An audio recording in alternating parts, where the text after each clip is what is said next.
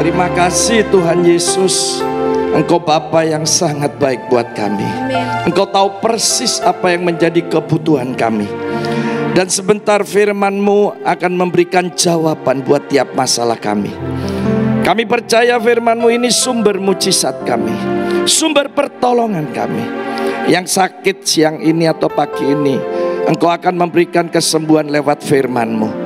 Kalau kami ada di dalam kekurangan. Firman-Mu akan menolong dan memberkati kami. Urapi hambamu Tuhan. Urapi setiap kami dengan urapan kuasa roh kudusmu. Tuhan Yesus yang menolong kami. Di dalam nama Tuhan Yesus. Mari yang percaya katakan. Amin. Puji Tuhan. Silakan duduk. Tuhan Yesus memberkati kita. Shalom. Aduh, cek lemes ya. Ini akeh loh di jam kerja segini ya. Ayo lebih semangat. Shalom. Iya.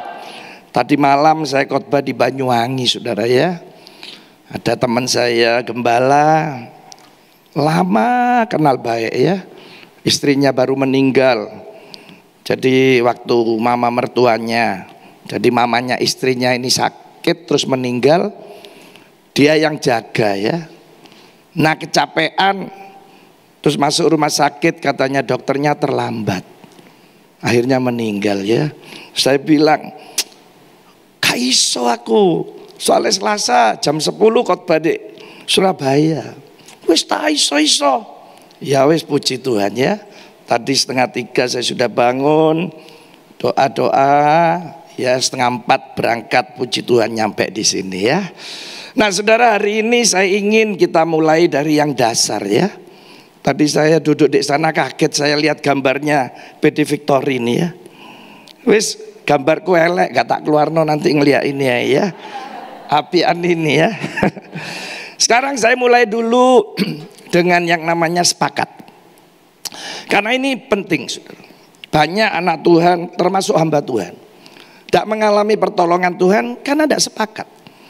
Ada tiga kesepakatan ya. Yang pertama sepakat dengan dirinya sendiri. Yang kedua, sepakat sama Tuhan, baru nanti sepakat sama orang lain. Lah kalau sama dirinya sendiri aja belum sepakat, gimana mau sepakat sama orang lain? Yuk kita mulai. Saya ingin beberapa detik ini saudara saya jadikan murid sekolah minggu ya. Ya, ayo coba ikuti saya ya, anak-anak. Nah, ini ya. Saya sudah 43 tahun loh jadi guru sekolah minggu. Sampai hari ini masih ngajar saudara ya. Tapi sudah tidak bisa canggih seperti dulu. Yang guru sekolah minggu sekarang kreatif luar biasa. Dan anak-anaknya sudah berubah. Dulu kalau masuk kelas rame cuma gini tok. Shh, diem. Dulu 30-40 tahun lalu. Sekarang diem apa orek. Menengore, uh, tambah rame. Jadi sekarang diwalik. Nek mau diem saya ngomong gini, rame yo, rame yo. Shh, langsung diem. Nah, makanya diwalik. Ya. Iya, nanti coba ya umum di gereja. Kebaktian ojo keturun. Enggak lah sing keturun. Iya, umum coba turu enggak lah ngadeg kabeh. Nah, ini. Ayo diangkat tangan kanane sing gak ngangkat kelek mambu. Ikuti saya ya. Ikuti saya ya. Pikiran. Perkataan. Hati. Harus sama. Nah, ini namanya sepakat. Ya, sepakat beda sama cocok, beda sama serasi. Sepakat ada perjanjian, ada tekad. Ya, sekarang saudara sendiri coba dimulai ya. Ayo, dua, tiga.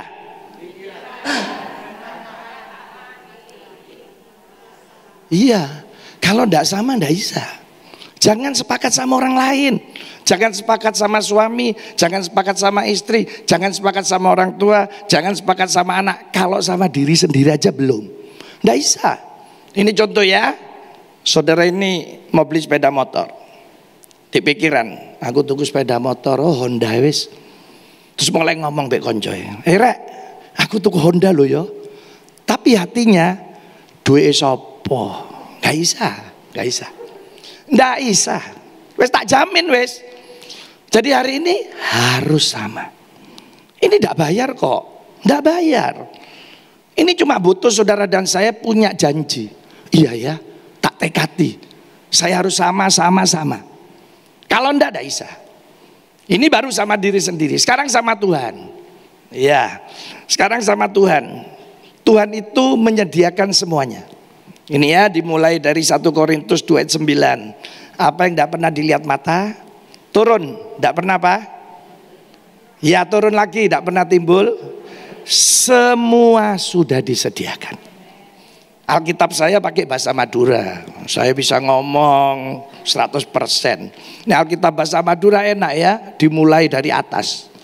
Apa saya tak pernah epeker? Nah, ini ya, saya tidak pernah dipikir. Coba lihat yang sudah disediakan Tuhan ya. Yosua 21 ayat 45. Ini baru sepakat karena nanti saya ingin bicara berakar, bertumbuh, berbuah. Kalau nanti akar kita tidak sepakat kuat, sudah tidak bisa tumbuh baik, tidak bisa berbuah baik. Ya, coba kita baca ya. Kita baca apalno ini. Ya langsung aja kata kaum Israel, tolong diganti nama kita masing-masing ya. Jadi saya Samuel Sianto kepanjangan saya pakai miming aja. Kalau saya dari segala yang baik, apa aja segala yang baik. Yang dijanjikan Tuhan kepada Miming tidak ada yang tidak dipenuhi. Semuanya apa? Iya, ini janji Tuhan semua sudah disediakan. Tinggal kita, ini loh, sepakat enggak dengan diri sendiri untuk ngambil. Ya, ini disediakan. Ayo saudara sekarang yang baca. Namanya dewek-dewek ya. Awas nih pakai miming ya. Kecuali podo loh ya. Ayo, dua, tiga.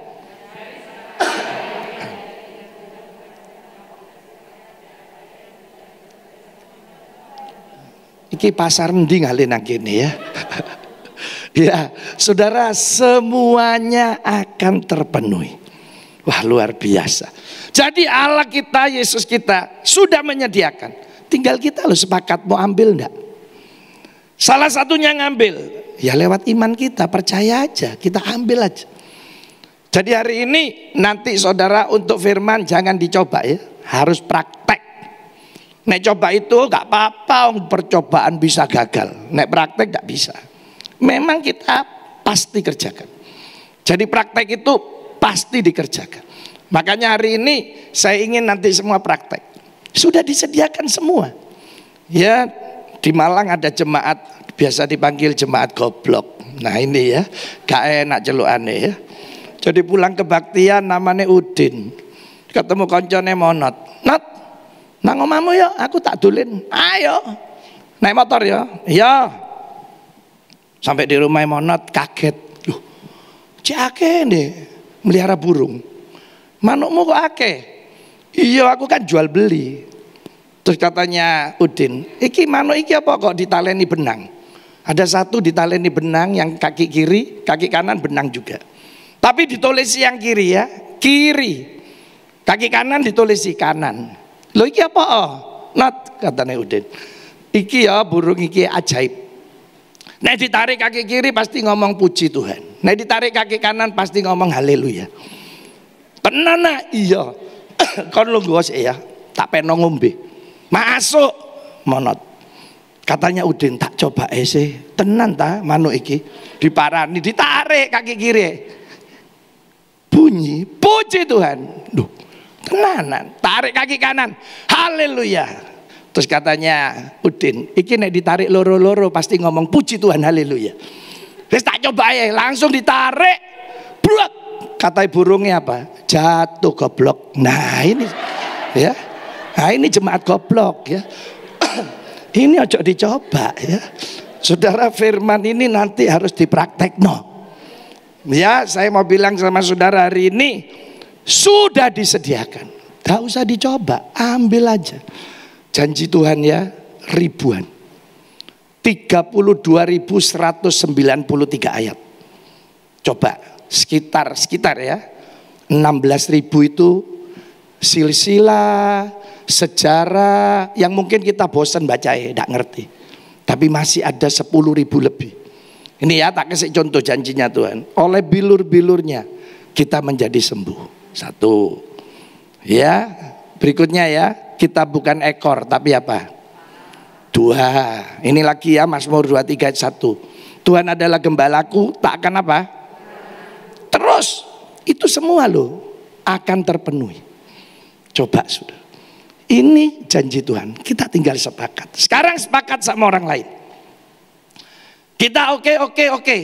Ngomong kita bi suami atau istri, bi anak atau bi orang tua, bi teman. Lu ngomong oke okay, oke okay, oke okay juga lo ya. Jadi saya waktu nikah sama istri saya 33 tahun lalu, nah ini boleh tanya. Saya ngomong, lu mesti oke oke oke lu mah. Kok enggak kita tidak bisa beli rumah, tidak bisa beli tanah. Lu ya gak bisa meteng tuh. Ya iya nih oke oke. Saya lo doa orang Wis tahun kawin? Tujuh tahun pak. Saya belum punya anak. Mana panggil suami lu? Kata suami, saya belum siap pak. Ya sudah, tak doa no. Lo buat apa? Enggak sepakat. Suami ini lo tidak mau, belum siap katanya. Lo ini ada, makanya saya cerita. Jadi tidak sepakat, tidak bisa. Alkitab bilang apa? Coba Matius 18 ayat 19. Ya, Matius 18 ayat 19. Gak usah banyak-banyak orang. Di dunia ini dua ya. Goncang dunia. Ini Yesus lu yang ngomong. Dan lagi aku berkata kepadamu. Yesus lu ya. Jika berapa orang? Dua ya, jangan banyak-banyak. Dua orang daripadamu di dunia ini apa? Meminta apa pun juga. Permintaan mereka itu akan dikabulkan oleh Bapakku yang di sorga. Permintaan dua orang ini loh, mereka ini loh lebih dari satu. Semua akan dikabulkan.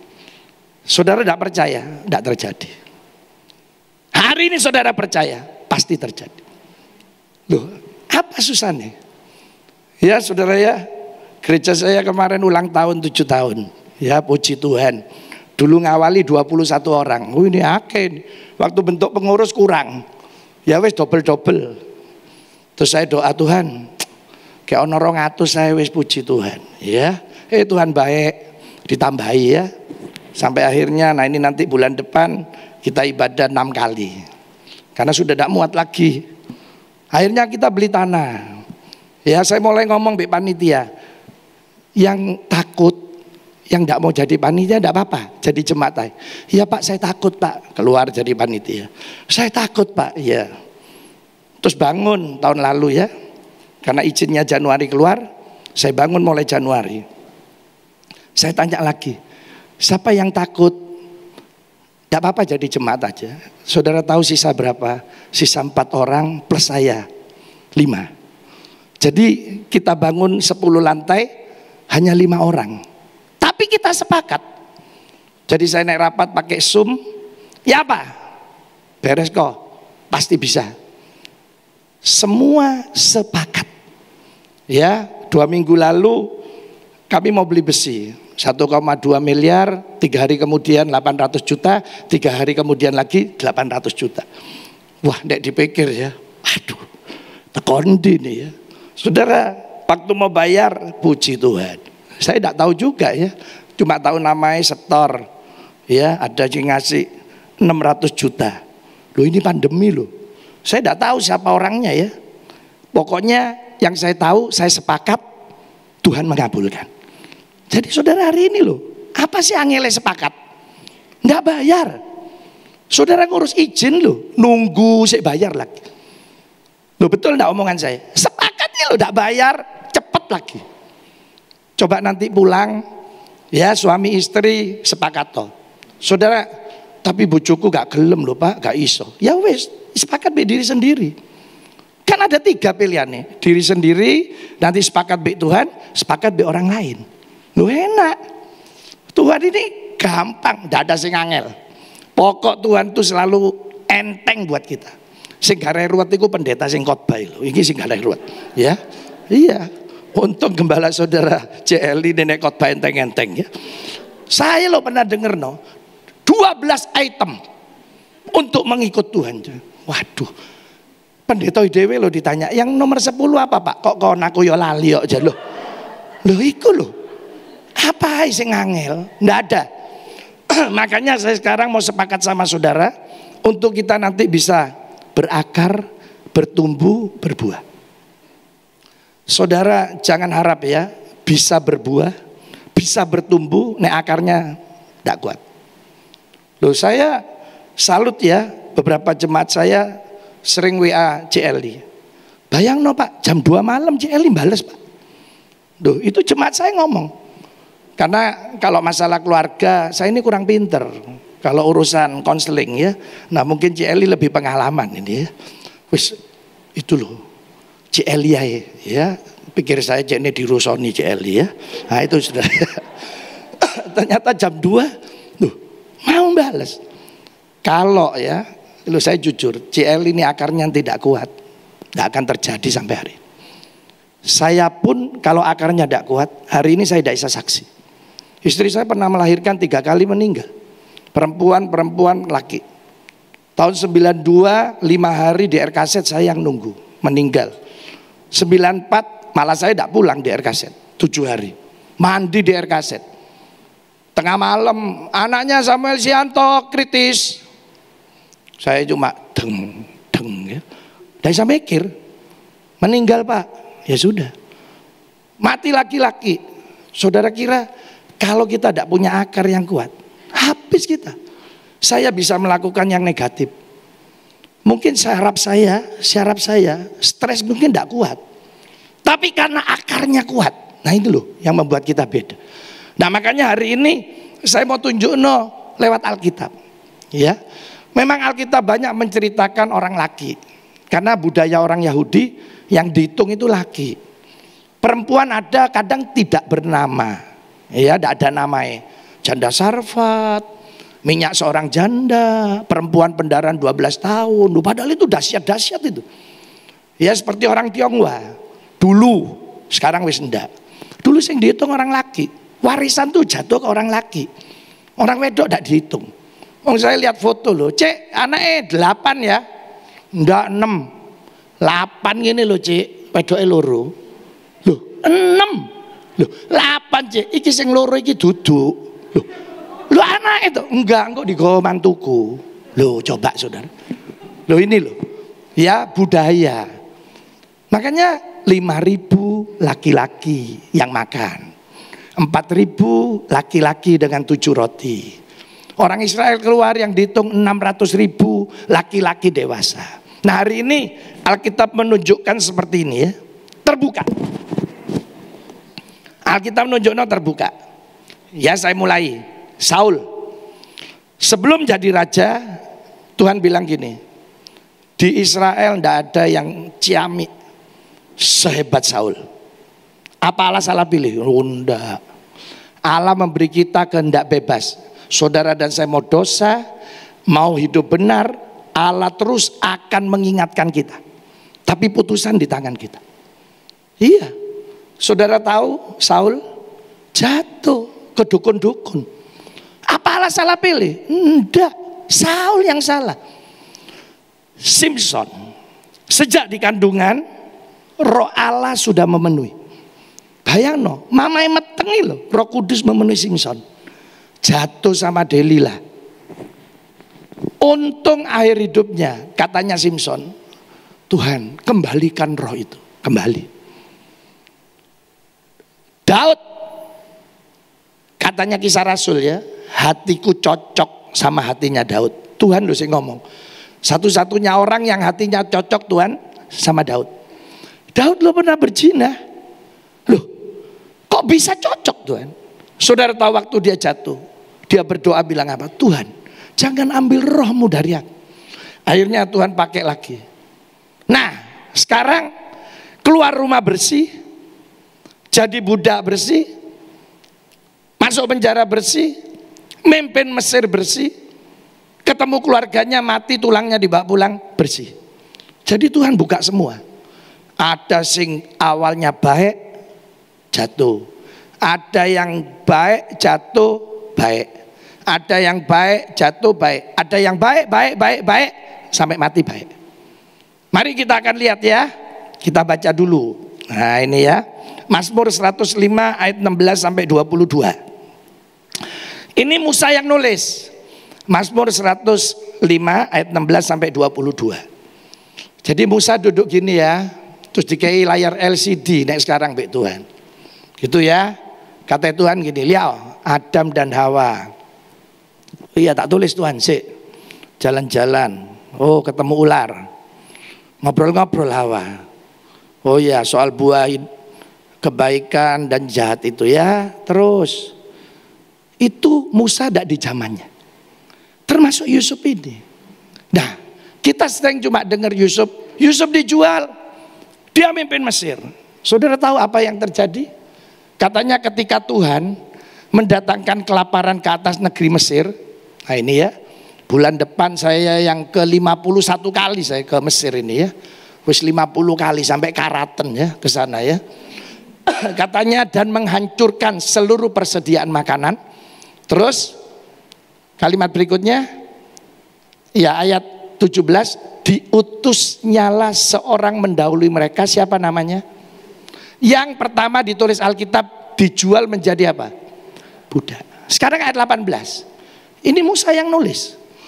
Mereka jadi orang-orang di Mesir karena yang menuduh Yusuf ini berzina, ini top pejabat Potifar.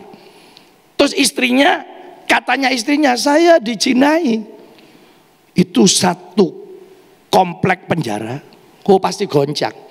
Apalagi tentara, pasti dihajar habis-habisan ini. Saking kan tidak ditulis di Alkitab. Cuma Musa yang nulis gini, mereka mengimpit kakinya dengan apa? Terus lehernya dimasukkan ke mana? Loh ini yang dialami oleh Yusuf loh. Cuma nanti saudara dan saya mungkin beda kasus. Kayak saya ya kasusnya be istri saya anak saya mati. Mungkin saudara kasusnya nanti maaf ya ada yang sakit. Mungkin ada yang bangkrut. Tapi sebenarnya penderitaan ini sama. Kenapa nanti Yusuf bisa berbuah luar biasa? Bukan cuma mengampuni loh. Yusuf bisa mengasihi. Tak cuma oh, orang ngampuni gampang. Tapi untuk bisa sampai mengasihi, ini baru luar biasa. Ini yang ingin nanti saya sampaikan buahnya. Tapi saudara harus lihat akarnya Yusuf dulu. Nah ini yang terjadi sama Yusuf. Terus ayat 19. Sampai saat firmannya sudah genap dan janji Tuhan membenarkannya. Ayat 20. Raja menyuruh melepaskannya, penguasa bangsa-bangsa membebaskannya. Nah terus saudara perhatikan baik-baik ayat 21. Ini yang tidak masuk akal. Sampai dua-dua. Tidak bisa wis. Otak kita tidak bisa tahu. Kecuali Yusuf ini, kecuali lo ya, profesor, doktor, kaburator, bocor. Iya. Ngajar di sekolah, ya universitas ini di ini 40 tahun 50 tahun dia menghasilkan ini ini ini enggak budak budak dituduh berzina masuk penjara katanya dijadikannya sekarang dia Yusuf tuan atas istananya Firaun dan kuasa atas segala harta kepunyaannya. Lanjut. Untuk loh ini loh. Yusuf memberikan apa? Kepada para sekehendak hatinya. Yusuf loh kayak nasihat, sakarpe Yusuf. Saya gini, hebat Yusuf ya. Kok bisa ya? Sekolah di mana ini? Terus katanya nih, dan mengajarkan hikmat kepada para tua-tuanya. Laung deh lo jadi budak. Budak ini zamannya Yusuf, hak asasinya hilang. Cuma makan, tidur, kerja sesuai maunya Tuhan. Gak cocok aku dibagi pasar, dijual beli. No, makanya budak belian. Dijual belikan. Terus masuk penjara. Gimana caranya?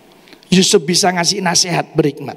Makanya hari ini saudara maaf ya, mungkin ada yang merasa kendo, mikir kok gak jangkep-jangkep ya. Wes gak usah minder, bisa pinter nanti. Ya, lu sungguhan ini.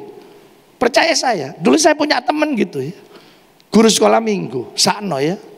SD tidak naik dua tahun, SMP tidak naik dua tahun. Akhirnya naik, ditulis di bawah, naik karena umur.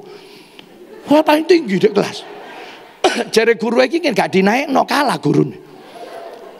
Jadi waktu jadi guru sekolah minggu bareng saya doa gini ya, Tuhan Aku goblok kok kebacut Tuhan.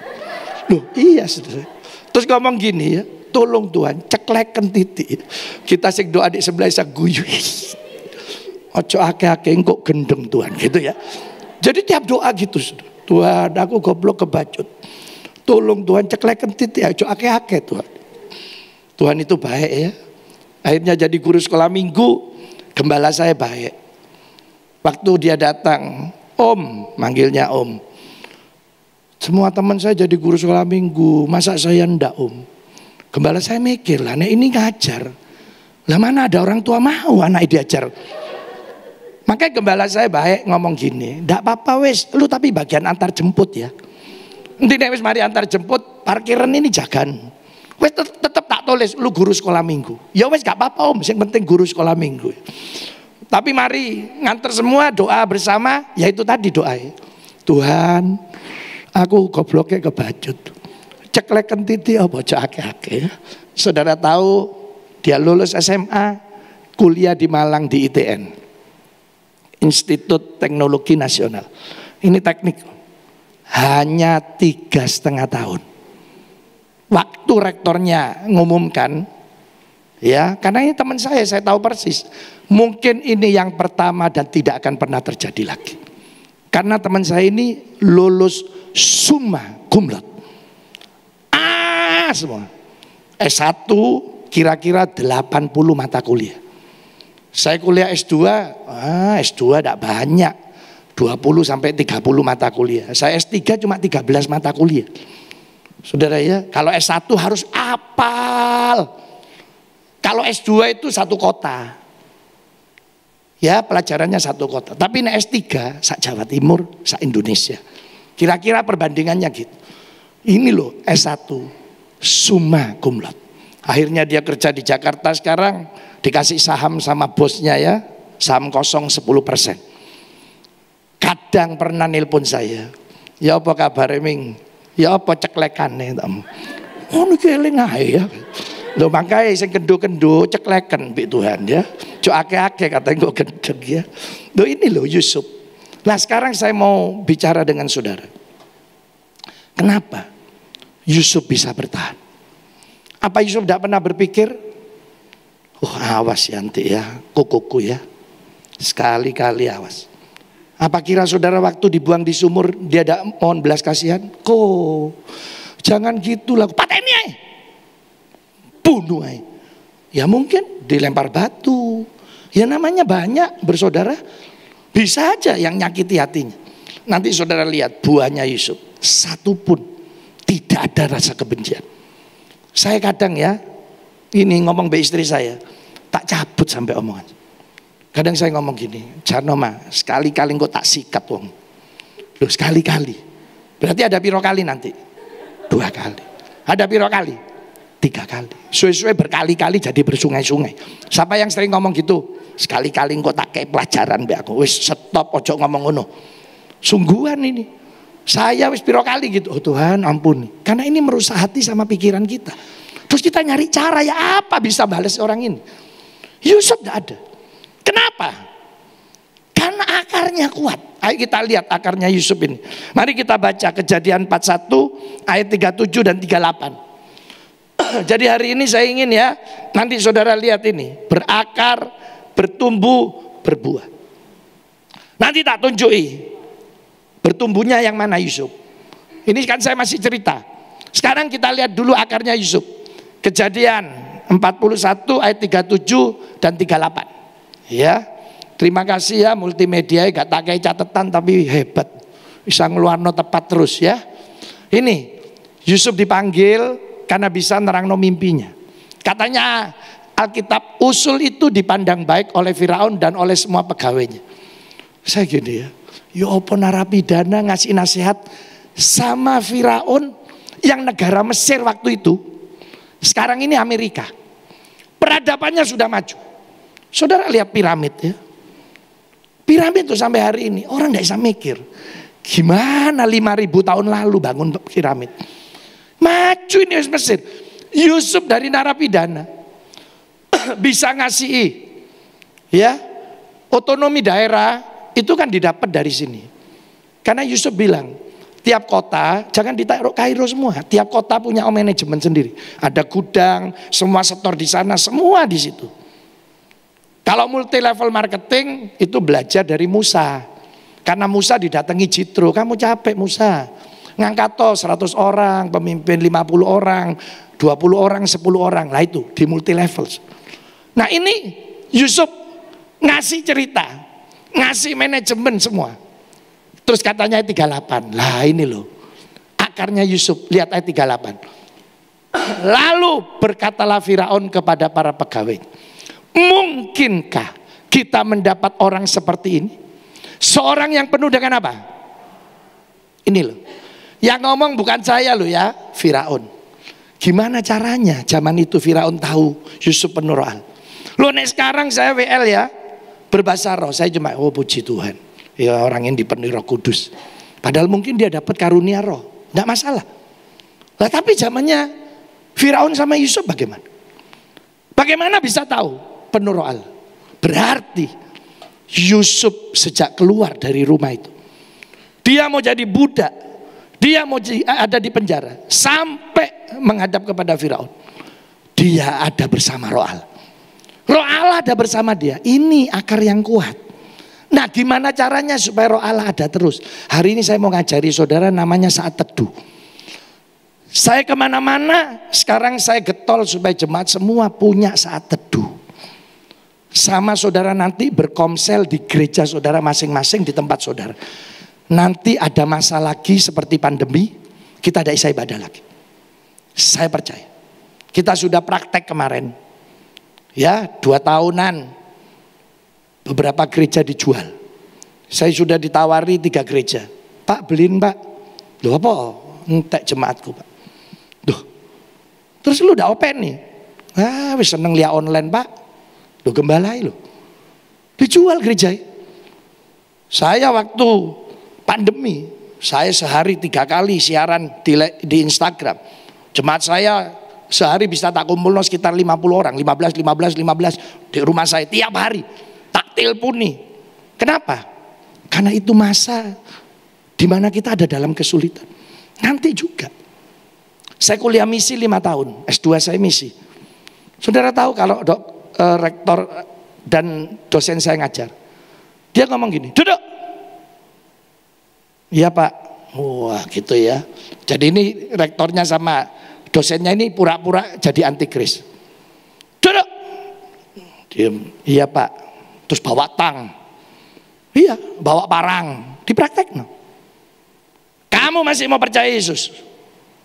Percaya pak? Lihat ya nanti kamu gigimu bisa dicopot tangnya itu loh. Ya tidak dipraktek no copot tenan saudara ya. Diginin. Ini akan terjadi. Hidung lu isakari separuh loh. Percaya Yesus masih? Iya. Des. Itu akan terjadi. Lah kalau akarnya tidak kuat. Ya murtad semua anak Tuhan. Nah ya sekarang ini kita mulai. Makanya jemaat harus punya saat teduh. Apa itu saat teduh? Saat teduh beda. Dengan doa pagi, doa siang, doa malam beda. Jadi saudara saya akan mulai ya biar sudah nanti punya saat teduh. Jadi saat teduh itu dalam sehari minimal sekali. Saudara ada berdiam diri, doa sendiri baik Tuhan. Nah kalau ini namanya persekutuan doa, rame-rame, komunitas. Nah jamnya bebas. Jemaat saya jam 2 pagi sudah di pasar karena jualan pecel. Dia saat teduhnya jam 10. Jadi tiap hari jam 10 malam, 10 malam, 10 malam terus. Jadi saudara nanti saat teduh itu kira-kira jamnya hampir sama sehari itu. Nah kalau ditanya, kapan Pak waktu yang baik? Pagi. Saudara istirahat malam sehat, sudah seger. Terus pagi belum aktivitas, handphone belum rame. Jadi enak pagi. Berapa lama? Bebas. 10 detik, boleh. Mungkin saudara yang ngawali baru berlutut gini. Tuhan tolong ono saya ya. Dalam nama Yesus amin. Tidak apa-apa. Ya, itu namanya doa. Ini belum saat teduh. Jadi ini baru saya bahas doa dulu.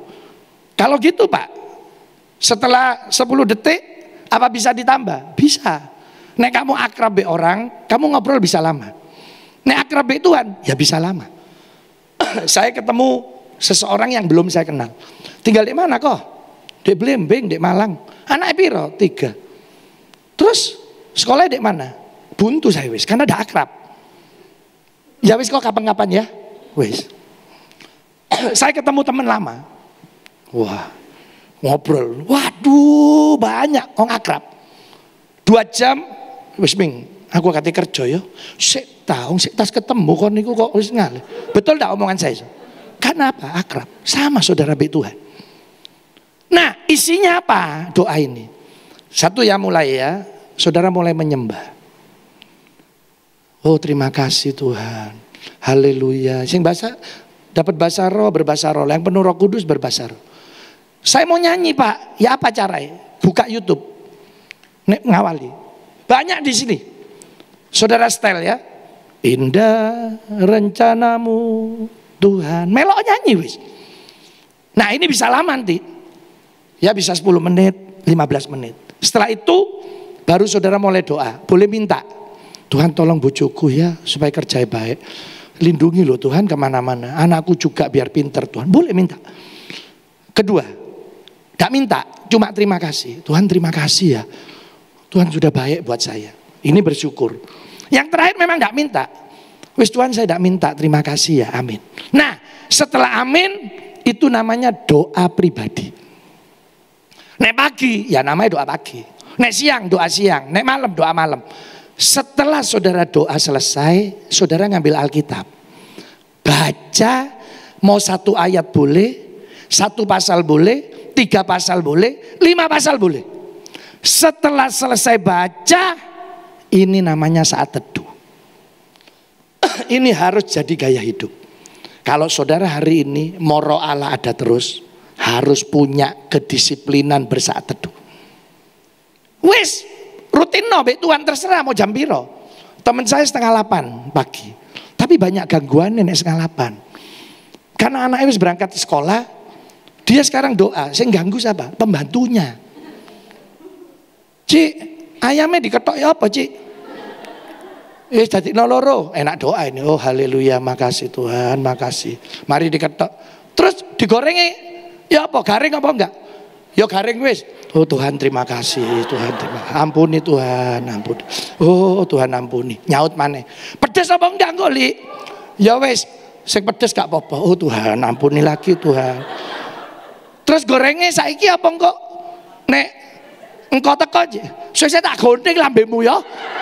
Ya saudara yang salah ngambil jamnya.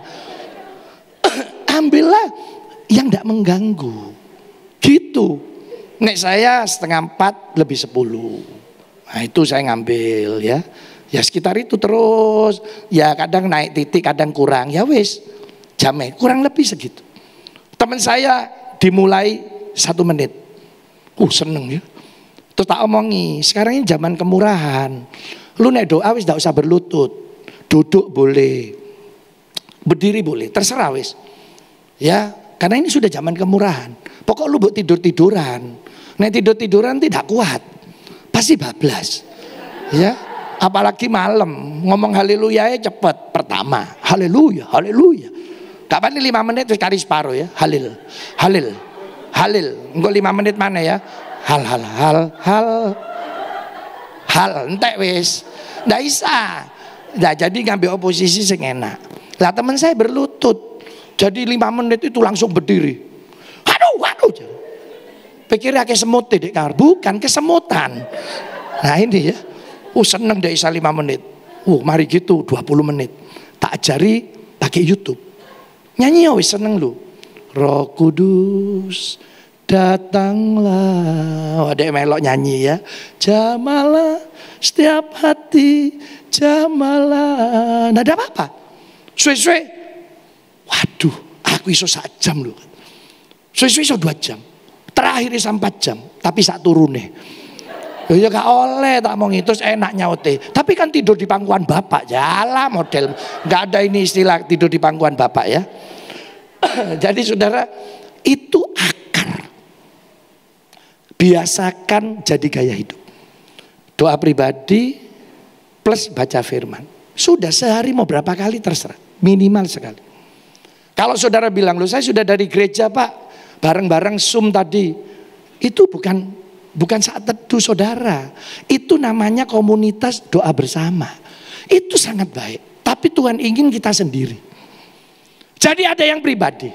Ini yang membuat kita berakar. Yusuf ya bisa dari orang tuanya loh. Dia ada negara asing. Jadi budak. Tapi karena akarnya kuat. Lihat saudara. Tumbuhnya ya, tumbuhnya. Dia bertahan dengan iman dan karakter. Saya cuma bahas dua. Iman, karakter. Yusuf loh bertahan. Dia tetap mempercayai satu waktu. Pasti Tuhan akan nolong saya. Dan karakternya, kebiasaannya, tidak ada yang buruk. Luar biasa. Sekarang ya, iman, karakter elek. Bujai, percuma. Banyak hamba Tuhan ya, karirnya naik. Ah, ternyata sebujuan tok. Turun. Sebaliknya, karakternya baik, soro. Sopan, tapi tidak punya iman. Yo kiri, jaluk utang terus gak pedot-pedot. Tidak bisa, dua ini jalan bareng. Punya iman, karakter Kristus ada. Minimal hari. Saya ingin bicara tentang pengampunan dan kasih. Kan orang ngampuni gampang, tapi kasih beda. Nah sekarang kita lihat buahnya. Setelah berakar ya, Yusuf ada roh Allah. Kita sekarang supaya berakar harus bersaat teduh. Terus ini untuk yang pribadi, harus punya komunitas. Lah seperti ini, saudara tiap selasa datang kok. Nanti nek perlu-perlu apa, bisa hubungi CLI, minta doa, hubungi temennya, tolong aku ya. Itu saling cas, saling ngecas, saling ngisi. Nah itu yang akan membuat kita akarnya kuat. Kalau saudara datang ibadah pulang, ibadah pulang, ibadah pulang. Tidak mungkin berakar. Satu waktu badai kehidupan datang, roboh pohonnya. Tapi kalau saudara akarnya kuat, tumbuh. Imannya tumbuh, karakternya Kristus tumbuh. Nah sekarang kita lihat buahnya Yusuf. Ayo kita baca ayat yang disukai jemaat. Ayat apa? ayat terakhir ya. Nah ini, kejadian 45 ayat 5 sampai 8. Terus nanti lompat pasal 50 ayat 19 sampai 20. Lihat ya, ini waktu Yusuf ketemu saudara kandungnya. Tidak ada kebencian satupun. Kata-katanya lihat ya ini. Ini ya. Semua ayo diteliti. Tidak ada. Padahal kalau saudara dan saya jadi Yusuf ya. Mungkin kita gini. Uh, iki kesempatan iki. Hmm. Ya apa aku ngalami leherku di masuk di besi, kakiku dibelenggu, aku wis towo wis. Dek kan belum pernah. Nah, sekali-kali dong. Lihat Saudara, katanya Yusuf nih. Ini ya, ayo kita lihat ayat 5. Tetapi sekarang, janganlah bersusah hati dan janganlah menyesali diri. Mungkin ada dulu yang nyesel. Ampun ya sup, ampun sup. Nyesel aku sup. Kata Yusuf, tidak usah susah. Jangan nyesali diri. Karena apa? Kamu menjual aku ke sini.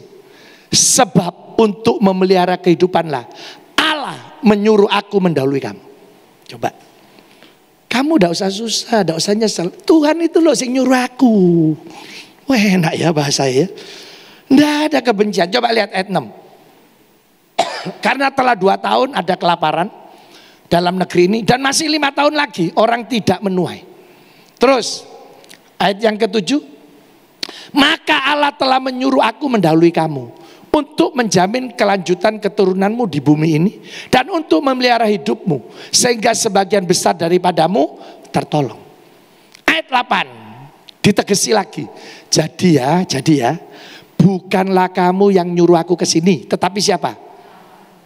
Dialah yang telah menempatkan aku sebagai bapak bagi Firaun dan Tuhan atas seluruh istananya dan sebagai kuasa atas seluruh tanah Mesir. Coba saudara, ada kebencian? Apa? Lu mau ngerengek-ngerengek? Tidak ada. Apa? Macam-macam ya. Lu tidak tahu tak sakit hati nih gua? Gak tahu tak? Waktu lu no, iki mana Ruben? Ayo mana? Iki siapa mana? Efraim. Ayo lu, kok lu bilang apa dulu? Lu bisa aja lu diundat kabeh. Tidak ada. Kita lihat terakhir ya. Pasal 50 ayat 19 dan 20. Nah ini ya pasal 50 ayat 19 dan 20. Nah, ini lebih dahsyat lagi ya. Jadi saudara sudah ngampuni, saya mengasihi. Luar biasa ya. Ayo pasal 50 uh, uh, ayat 19. Ya, kita lihat ya. Pasal 50 nah, ayat 19. Ya ini kurang situ. Ah terima kasih. Tetapi Yusuf berkata kepada mereka, janganlah takut sebab aku ini bukan penggantinya Allah. Aku ini bukan Tuhan. Lihat ayat 20. Memang katanya, kamu telah mereka-rekakan merencanakan yang jahat terhadap aku. Tetapi Allah telah merencanakan apa? Dengan maksud melakukan seperti yang terjadi sekarang ini. Yakni memelihara hidup suatu bangsa yang besar. Aduh, ini tidak cuma ngampuni ya, betul-betul mengasihi. Hari ini nanti saudara ke mana ya? Banyak orang merencanakan yang jahat sama kita. Tidak usah takut, tidak usah diurus. Orang fitnah apa aja biar. Saya tiap hari di fitnah terus. Memang pendeta makanannya fitnah. Padahal saya makan nasi. Ya, Hai saudara saya tanya, saudara nek makan seneng makan beras impor atau beras lokal? Enak mana? Beras impor sama beras lokal? Ayo. Mana? Lokal? Oh, nek saya tidak mau, saya maunya nasi ya, saya tidak mau beras atos, ya. Nah, ini ya. Saudara, orang boleh melakukan yang jahat, Allah rubah jadi baik. Saya pernah punya STT ya, sampai hari ini punya saya, Yesto ya. Mau ngurus izinnya tidak tahu. saya tanya teman saya, ya apa caranya? Aku naruh seket juta, Pak gak iso. Saudara tahu dua pejabat dari Jakarta Depak datang. Ini Pak Samuel Sianto betul. Betul. Dari mana Pak? Saya dari Departemen Agama Jakarta. Oh iya mari Pak. Duduk Pak. Keluar surat dua. Ini ada surat kaleng. Baca. Tolong STT Yestoya harus ditutup karena sesat. Tuh. Terus tak delok. Pendeta titik-titik. Loh iya koncoku. Temen saya baik. Kenal Bapak? Loh, ini teman baik saya. Loh, kok nyuruh tutup? Oh Tuhan, tolong po. Saya itu berapa tahun tidak pernah tahu cara ngurusnya. Ini saya teko pekoro surat kaleng. Terus dia tanya, ini miliknya siapa? Kontra apa enggak? Oh enggak pak, milik saya pribadi. Mana suratnya? Oh bagus ya, ini yang dicari negara ini. Saya bisa lihat perpustakaannya. Saudara tahu jantungnya, rohnya STT itu perpustakaan. Waktu itu saya pertama punya 8000 judul. Dulu ya. Oh, bagus ya. Iya Pak, saya dulu pengusaha Pak. Jadi sama saya tak atur kayak perusahaan. Ya namanya abjad A, lemari dewe B, nama-nama mahasiswa terus. Wah ini yang dicari negara. Langsung orangnya bilang, sudah Pak Samuel duduk, saya ambilkan komputer, saya mau ngetik. Diketik sampai malam. Sudah saya pulang ya pulang saudara. Dua minggu kemudian izinnya keluar, tidak bayar. Tidak bayar. Saya tadinya mau marah ke teman saya yang ngirim surat kaleng, wurung. Oh terima kasih, sampai sekarang saya koncoan. Saya gini, coba koncoku gak ngirim surat kaleng, izinku gak metu. Jadi ada orang yang memang mereka rekakan yang jahat. Tapi Tuhan tetap melakukan yang baik sama kita. Amin.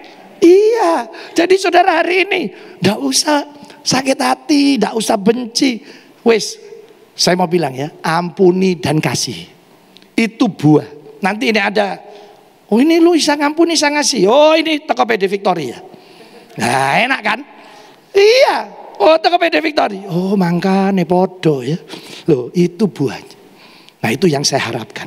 Biarlah siang ini, ayo berakar dulu. Ya, jadi punya yang namanya saat teduh.